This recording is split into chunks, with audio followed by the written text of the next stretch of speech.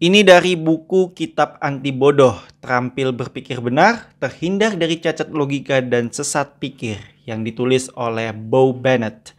Ini di halaman 192 pada bab Cacat Logika Penengah yang Tidak Dipertukarkan.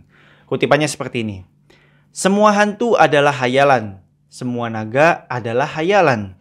Oleh karena itu, semua hantu adalah naga. Ya, ini naganya bukan buah naga ya bukan juga naga vokalis ada band, bukan juga naga sari karena itu kue, dan juga bukan naga bonak ya karena itu film.